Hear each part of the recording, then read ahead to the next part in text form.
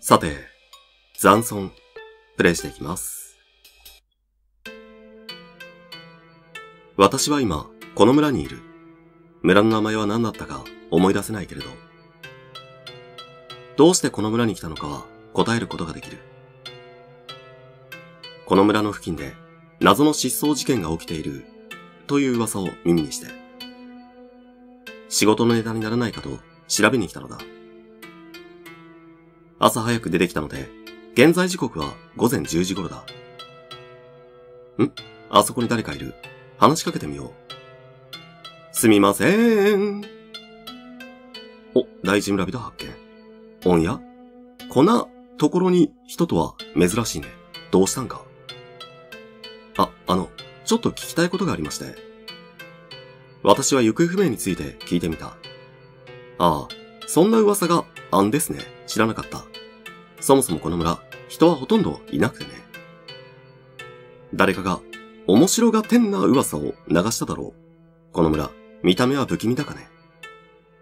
そうですよね。神隠しとかじゃないですよね。よかった。怖いことは起きなそうで安心した。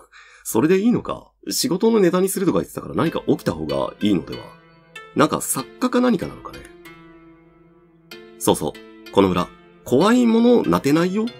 夜になると街灯がないから真っ暗になることぐらいね。はっはっは。お話ありがとうございます。暗くなる前に帰ります。ああ、そうした方がいい。気ぃつけてな。うーん、どうしよう。せっかくここまで来たから、もう少し見ていこうかな。あ、こんなところに地図がある。どうやら村の掲示板？のようなものにくっついている。地図以外の張り紙はボロボロで見れない。これが地図か。暗くなる前に帰らないとね。さて、どこから行こうかな。地図、村っていうか集落というかなんというかね。えー、っと、読みづらいなあ、祠がありますね。もう祠に行くしかないですよ。わ、すげえニコニコしてる。お地蔵さんが笑っていて楽しそうですね。ここまで優しそうなお地蔵さん初めて見た。石が崩れてる。直した方がいいだろうか。あ、え、なんか、すご、すごい左下に。小玉でしょうか。まあいいや。えー、っと、石積みか。なんかこれ、サイの瓦か何かだった。これは、ゲーム的に言えば直した方が良さそうな気はするけど、どうしようか。触らぬ神に何とやらみたいなのもあるし、一旦触らないでおきましょうか。えっ、と、エンドは6つだったっけかな？こういうものは触らない方がいいよね。触らぬ神に何とやら。そのままでしたね。他に気になるものはないかな？戻ろう。ごめんね、お地蔵さん。ああ、怒り狂う表情にはならなかったね。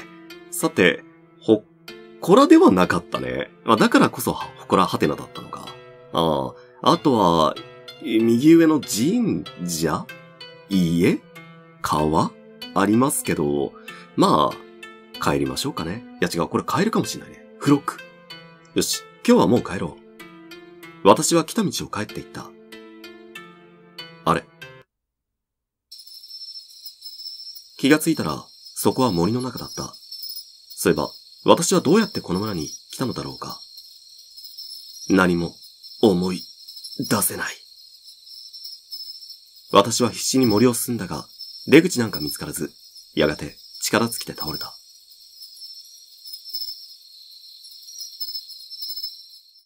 さて、やっぱり何かしないと当然帰ることはできませんね。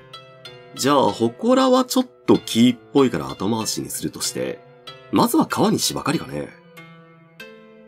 ここは川か。綺麗な川が流れている。ここに来ると嫌なこともすべて流れていきそうな、そんな感じがする。よし、噂の調査、頑張るぞい。あ、どんぶらっこ、どんぶらっこって来なかったね。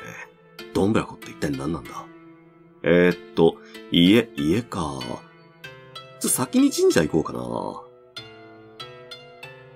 普段運動をしないせいか、足が限界に近い。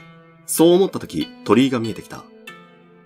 なんだかちょっと不気味な雰囲気がするけど、行って大丈夫だよね。あー、ここまで頑張って登ってきて帰るって結構精神的に辛いよね。だから帰ってもらいますね。ここまで来たけど、何か嫌な予感がするから帰ろう。お長生きするタイプかね、この主人公。ああ、やっぱり行かなきゃいかんか。どうだろうか嫌な予感がするんだったらバットになってくれるか。よし、じゃあ、入ってもらいますね。ここまで上がってくるの大変だったし、お賽銭していこうかな。あー、やっと着いた想定よりも階段が多く大変だった。踏み外して落ちでもしたら助からないだろうな。二往復したしね。お賽銭は5円で大丈夫だよね。私は賽銭を済ませて神社を後にした。おっと、BGM さん。不穏な感じですね。用事を済ませた帰り道、鳥居をくぐったところで、私は、誰かに背中を押された。私の体は階段を転がり落ちていく。体中の骨が砕ける音が聞こえる。私はそこでぐしゃぐしゃになってしまった。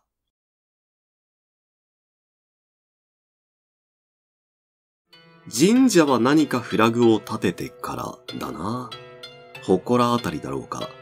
さてでは最後、家に行ってみましょうか。他の村の人にも話を聞いてみようかな。そう思った私は家に向かった。しかし、どの家もインターホンを押したり声をかけても返事はなかった。ここが最後の家か。すみません。ここも留守か。そう思い、帰ろうとしたところで扉が開いた。はい。どなたでしょうかすごいロングっすね。あ、あの、私ちょっとこの村について聞きたくて。ああ、そうなんですね。どうぞ、上がってください。いえ、少し話を聞きたいだけですので。ここまで遠かったでしょ？上がっていってください。うーん、どうしようかな まあ、仕事のためだったらここで入って、ね、虎穴に入らずんばうんたらみたいなあれだけど、まあ一旦帰ってもらいますね。あの、申し訳ありませんが、やっぱり大丈夫です。すみません。私は急いで、その家を後にした。来た道に戻ると、あたりが暗くなっていた。おかしいと思い、時計を確認するが、時計の針は11時を指している。え、なんで？どうなって？そう思った時に、私は気がついてしまった。周りが暗くなったのではなく、黒い何かが私の目の前にいることに。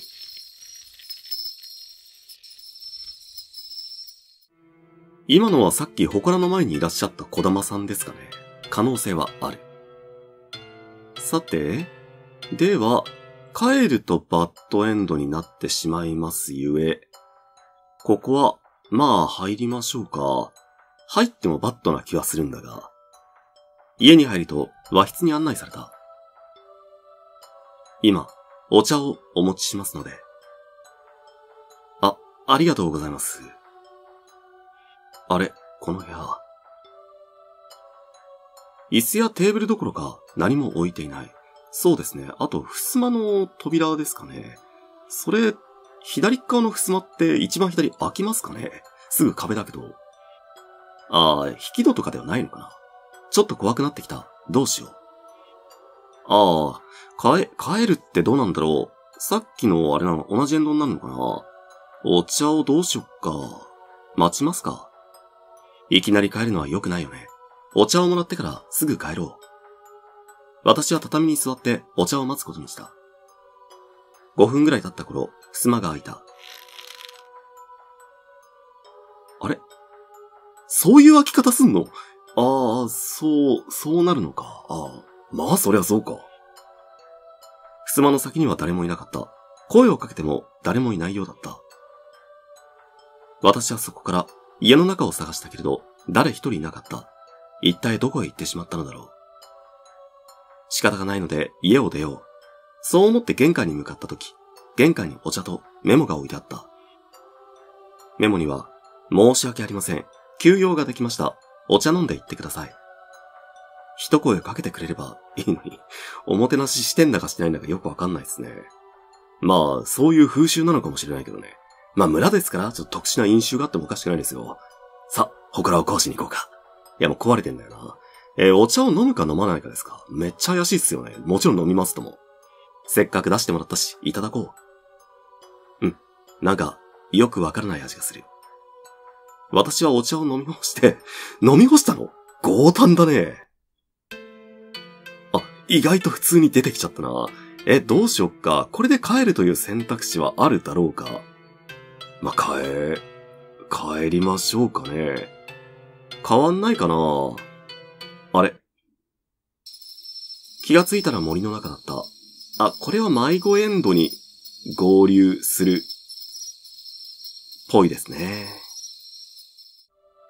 さて、選択肢戻ってきました。今回はとりあえず飲む方でいろいろ回ってみますか。あ、あと途中のお茶を待つか帰るかの選択肢、帰るを選ぶと、あの、11時なのに暗いエンドに合流しましたね。さて、ではなんかよくわからん味のするお茶を飲んで、家ってこれもう一回行ったらどうなるんだ？もう用はない、戻ろう。ああ、もう必要ないか。ぺ、二度と来ねえよ。さて、じゃあ川あたり。ここは川か。綺麗な川が流れている。ここに来ると嫌なこともすべて流れていきそうな、そんな感じがする。よし、噂の調査頑張るぞい。川から帰ろうとしたとき、急に気持ち悪くなってきた。う川に吐いてしまった。おろろろろろろ、おろろろろろ。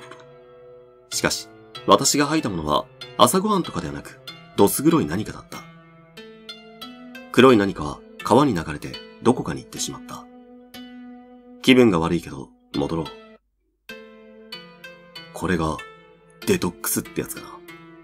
川に吐いたか、もしこの村がすでに異界化しているのであれば、吐いたことによって余物へぐいを回避、いや、もう無理か。できんのかねそれって。入れて出したらさ。ああ、もう二度と吐かないか。さて、祠に行くか神社に行くか。祠はまあ、これで別に、石が戻ってっていうこともなし。あ、小玉でしょうか。直さないと。これは一番のなんか、キーっぽいからね。じゃあ神社に行きます。これは、入ってもいいよね。帰るはまた、多分意味ないもんな。お賽銭していきましょう。ああ、やっと着いたは変わらんかな。またお賽銭。5円、5円ではないな。視界の足に誰かいることに気がついた。子供。僕、今虫取りやってるんだよ。だから、虫かごにいっぱい虫が入ってるんだよ。ああ、僕の夏休み的な感じを謳歌してるね。8月32日かしら。あ、うん、そうなんだ。虫、好きなんだね。うん、大好きさ。子供と話すのは苦手だから、変な返事になってしまった。捕まえた虫、見てみて。ああ、無邪気だなこれ私が虫苦手だったら、そっとしてしまうぜ、少年。そう言うと、少年は虫かごを出して私に見せてきた。虫かごを覗いてみるが、中には何も入っていないように見える。じっと見ていると、何かがうごめいていることに気がつく。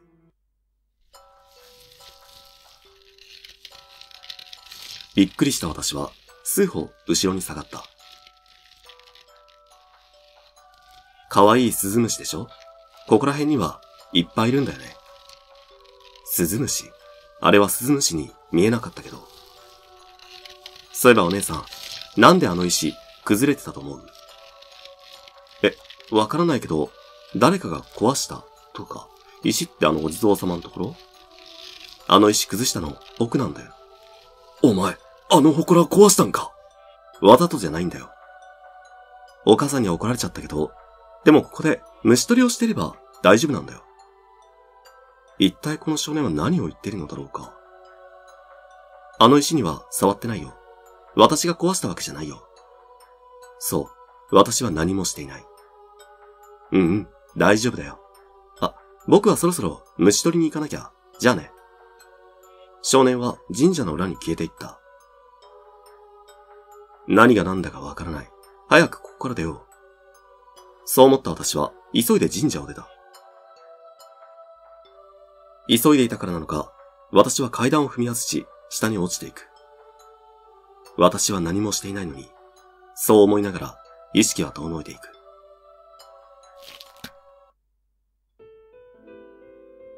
私は病院で目を覚ました。村に行く途中の道で倒れていたらしい。怪我は足が折れているだけで命に別状はないらしい。あの村での出来事は夢だったのだろうか。そんなことを考えながら、病室の窓から外の景色を見る。そして、私には分かってしまう。あれは、夢なんかじゃなかったと。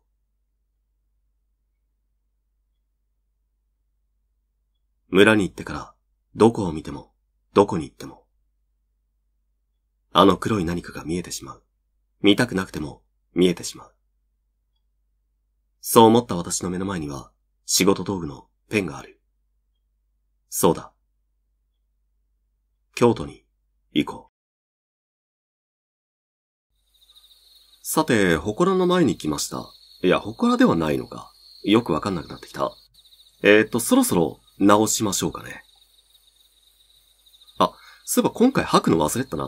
まあ、とりあえず吐かないで進めますか。こういうのって普通、私が壊して大変なことが起こったりするものなんじゃ。どんな感じで積めばいいのかなよし、これでいいかなああ、なんか、いい感じだね。他に特に気になるものはないよね。一旦戻ろう。お地蔵さん、じゃあね。じゃあの。さて、えっ、ー、と、あ、そうそう。お茶は飲んでます。吐いてません。ほから直しました。で、神社帰る神社行くか。神社。では、生姜に祈りを。はいはい。また虫取り少年はいるのか。キャタピー的な人たちがいましたけど。あれ多分人玉か何かなんだよな。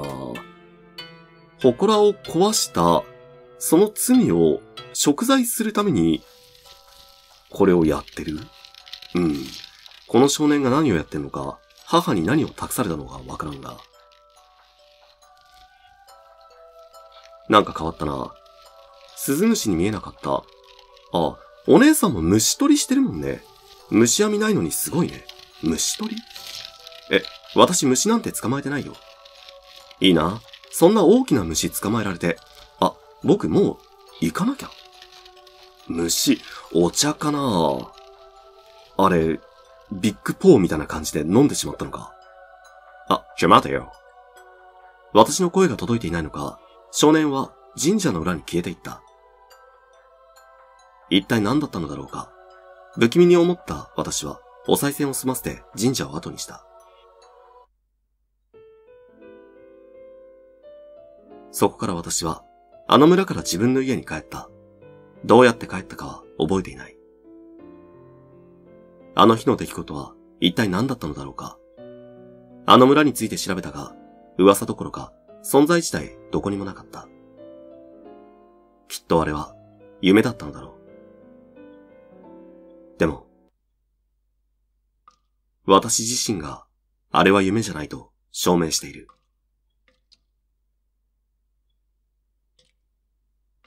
私が見ている私がおかしいのか、私自身がおかしいのか、もう誰にもわからない。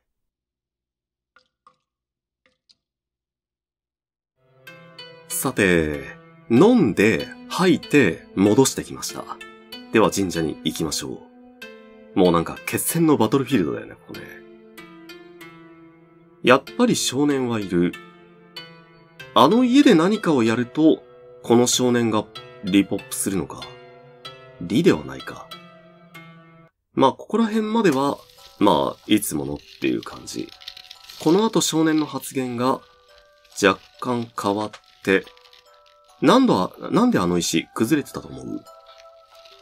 これは階段から転げ落ちて、入院しちゃったのと、あ、変わったな。実はあれ、壊しちゃったの。お、お前、あの祠壊したんか。でもお姉さん直してくれてありがとう。僕はここで虫取りをしなきゃいけないから、もう行くね。じゃあね。あ、ちょ待てよ。私の声が聞こえていないのか、少年は神社の裏に消えていった。一体何だったのだろうか。そう思いながら、私はお賽銭を済ませて神社を出た。鳥居をくぐるとき、風の音とともに、もうここに来ちゃダメだよ、という声が聞こえた気がした。ああ、エンド変わったな。あれこれ6つ目のエンドだな。多分お茶を飲まないっていう選択肢は吐くのと変わんなかったんだろうね。結局、神隠しも行方不明についても何もわからなかった。でも、少し不思議な体験をしたような気がする。私は今回の出来事を何とか本にしようと思う。それが私の仕事だからだ。